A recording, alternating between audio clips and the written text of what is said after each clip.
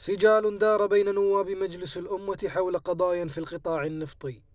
النائب جمال العمر قال بأن هناك صراعات في القطاع النفطي واعتبر أن مستوى القطاع في الوقت الحالي سلبي وفاشل وذلك نتيجة لعدم وجود مختص متسائلا عن دور المجلس الأعلى للبترول. هذا الصراع قاعد ينعكس بشكل فعلي لدمار هذا القطاع. ومن ثم كان هناك قرارات ارتجالية ومصالح مع الأسف أنا أقول غابت عن الحصيف والمتخصص بالإجراءات اللي اتخذها من خلال قرار مجلس وزراء وألقي ذلك القرار لأن هذا القرار لم يعتمد من صاحب السمو.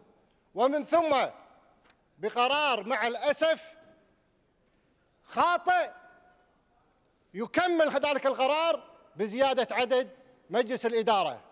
والسؤال مطروح ليش هذا العدد؟ في المقابل نفى وزير النفط ووزير الدولة لشؤون مجلس الأمة الدكتور علي العمير ما نشرته مجلة ميد المتخصصة في شؤون الاقتصاد حول عدم اجتماعه مع الرئيس التنفيذي لمؤسسة البترول الكويتية نزار العدساني لوجود خلافات بينهما إثر التعيينات الأخيرة في القطاع النفطي ما أشارت له مجلة ميد بأني لا أجتمع مع الرئيس التنفيذي فهذا الكلام عار عن الصحة أنا كنت أمس باجتماع مع الأخ الرئيس التنفيذي وبيني وبينه كل مودة واحترام.